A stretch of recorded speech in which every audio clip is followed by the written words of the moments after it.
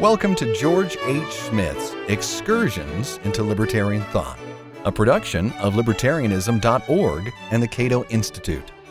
I'm your host, Terrence West. Defending the Non Aggression Principle, a reply to Matt Zwolinski, Part 3, by George H. Smith. In part one of my critique of Matt Zwolinski's article, Six Reasons Why Libertarians Should Reject the Non Aggression Principle, I noted that I was not obligated to write detailed responses to Zwolinski's sketchy criticisms, but it is nearly impossible to explain the flaws in three of Zwolinski's reasons without going into a bit of detail. This will leave two additional points for the fourth and final part of my critique. Of course, Zwolinski might claim that he could not cover everything in a single brief article, but brevity does not excuse misrepresenting some of the positions that he set out to criticize, as we find with the last two reasons that I discuss in this part. Zwolinski claims that the non aggression principle, NAP, entails an all or nothing attitude towards risk. The NAP clearly implies that it's wrong for me to shoot you in the head. But to borrow an example from David Friedman, what if I merely run the risk of shooting you by putting one bullet in a six shot revolver, spinning the cylinder, aiming it at your head, and squeezing the trigger? What if it's not one bullet, but five? Unless you have consented to play Russian roulette, the situation involves far more than a risk. It is first and foremost a threat, and you have the right to defend yourself against legitimate threats. If someone shoots a pistol at you from a distance but misses his intended target on the first shot, then you don't need to wait for a subsequent bullet to strike your body before exercising your right of self defense, say by shooting back. Similarly, if someone loads one or more bullets into a revolver and points it at your head, then you don't need to wait until he pulls the trigger before you may respond with defensive violence, so the number of bullets in the revolver is irrelevant. The mere pointing of a gun at your head qualifies as a serious threat, even if, unbeknownst to you, Zwolinski's revolver is empty. See my detailed treatment of threats in Justice, Entrepreneurship in a Free Market and Justice, Entrepreneurship Revisited in Journal of Libertarian Studies 3, 1979. Zwolinski continues Of course, almost everything we do imposes some risk of harm on innocent persons. We run this risk when we drive on the highway. What if we suffer a heart attack or become distracted? or when we fly airplanes over populated areas. Here, Zwolinski raises the possibility of accidents, but accidents are in an altogether different category than deliberate threats. Suppose someone forces you, on pain of death, to walk a narrow plank across a deep chasm. Does this involve risk? Of course it does. But this risk has been imposed by the threat of force, and that's the relevant point. If you fall off the plank to your death, we would not properly call this an accidental death, as we do with automobile and plane accidents, since you were coerced into taking the risk. Similarly, if the hammer of Zwolinski's revolver strikes a loaded chamber and you're shot in the head, then your death would not be accidental, provided you did not consent. If you don't wish to assume the risk of driving, then don't drive. If you don't want to run the risk of an airplane crashing into your house, then move to a safer location. You don't own the airspace used by planes, after all. No scenario of the risks encountered in everyday life is remotely comparable to Zwolinski deliberately pointing a gun at your head, an act that any reasonable person would interpret as a serious threat. Zwolinski claims that the NAP does not prohibit fraud. Libertarians usually say that violence may legitimately be used to prevent either force or fraud. But according to NAP, the only legitimate use of force is to prevent or to punish the initiatory use of physical violence by others. And fraud is not physical violence. If I tell you that the painting you want to buy is a genuine Renoir, and it's not, I have not physically aggressed against you. But if you buy it, find out it's fake, and then send the police or your protective agency over to my house to get your money back, then you are aggressing against me. So not only does a prohibition on fraud not follow from the NAP, it is not even compatible with it, since the use of force to prohibit fraud itself constitutes the initiation of physical violence. Zwolinski seems unaware that Rothbard analyzed the issue of fraud in the context of a title transfer theory of contracts. As Rothbard wrote, when Smith exchanges a bag of apples for Jones's pound of butter, he is actually transferring his ownership rights, i.e., title, in the apples in exchange for the ownership rights of the butter, and vice versa. It's not as if Zwolinski needed to search obscure articles by Rothbard to find his treatment of contract and fraud, since it appears in his major work on political ethics, The Ethics of Liberty. For a briefer explanation, see the wiki article, The Transfer Theory of Contract.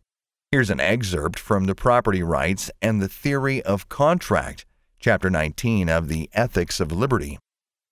Under our proposed theory, would fraud be actionable at law?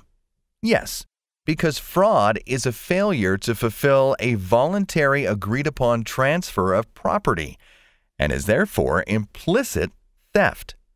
If, for example, A sells to B a package which A says contains a radio and it contains only a pile of scrap metal, then A has taken B's money and not fulfilled the agreed upon conditions for such a transfer, the delivery of a radio.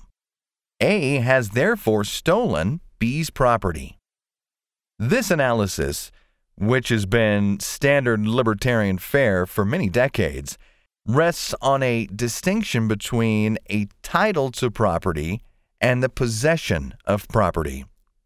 A title is the rightful claim of ownership and should be distinguished from physical possession. If a thief enters your house and steals your computer while you're absent, then you still retain the title to that computer even though the thief has physical control over it.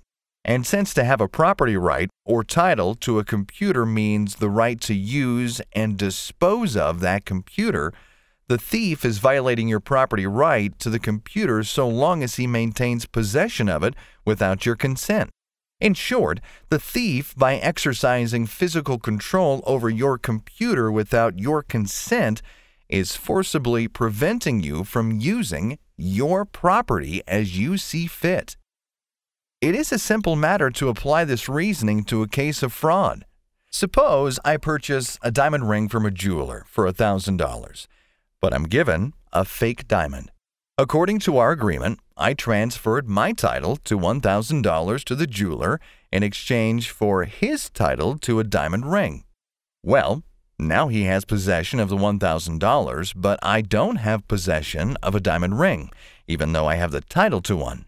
Hence, if the jeweler refuses to transfer possession of the property to which I have legitimate title, then, as with the thief, it is withholding my property by force.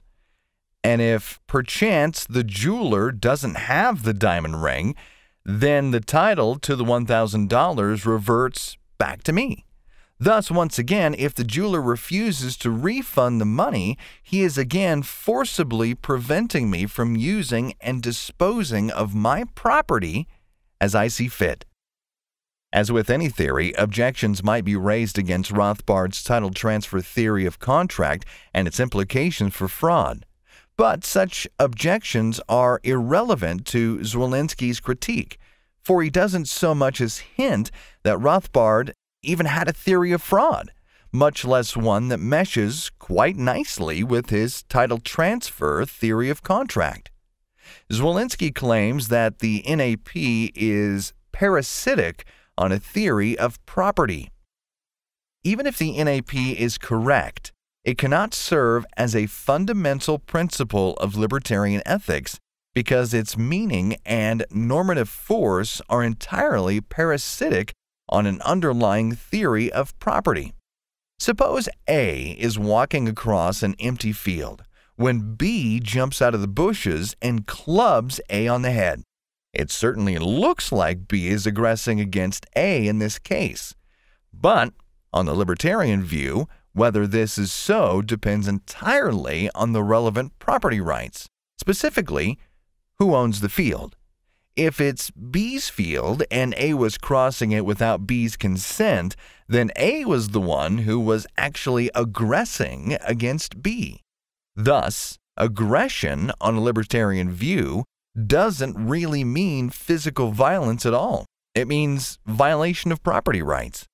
But if this is true, then the NAP's focus on aggression and violence is, at best, superfluous and, at worst, misleading. It is the enforcement of property rights, not the prohibition of aggression, that is fundamental to libertarianism. As before, Zwolinski seems unaware of how Rothbard dealt with the topic at hand. In Property and Criminality, Chapter 9 of the Ethics of Liberty, Rothbard clarified the basic rule of the libertarian society by stating that no one has the right to aggress against the legitimate or just property of another. As Rothbard put it in the second chapter of For a New Liberty, the central axiom of the Libertarian Creed is non aggression against anyone's person and property. Again, in the first paragraph under the non aggression axiom, Rothbard incorporates the notion of property rights into his formulation of the NAP. The Libertarian Creed rests upon one central axiom that no man or group of men may aggress against the person or property of anyone else. This may be called the non aggression axiom. Aggression is defined as the initiation of the use or threat of physical violence against the person or property of anyone else. Aggression is therefore synonymous with invasion of property rights. Given these and many similar statements by Rothbard, it's very odd to complain, as Zwolinski does, that the meaning and normative force of the NAP are entirely parasitic on an underlying theory of property. Rothbard made precisely that point many times and in considerable detail by incorporating a theory of property rights into his conception of aggression. In other words, it is only by specifying the relevant property rights that we can identify aggression in the first place. Again, Rothbard's approach might be open to criticism, but for Zwolinski to state that Rothbard's notion of aggression depends on a theory of property rights and to offer this as a criticism of Rothbard, when in fact it is essential to his conception of aggression, displays an ignorance of Rothbard's ideas. At least, Zwolinski doesn't completely miss the boat when he says that aggression, on the libertarian view, doesn't really mean physical violence at all. This relates to a distinction I mentioned in part one of this series, namely a possible difference between violence and force. I'll take up this topic in part four, along with Zwolinski's other two points about pollution and the rights of children. This has been Excursions into Libertarian Thought, a production of libertarianism.org and the Cato Institute. To learn more about libertarian philosophy and history, visit www.libertarianism.org. I'm Terrence West. Thanks for listening.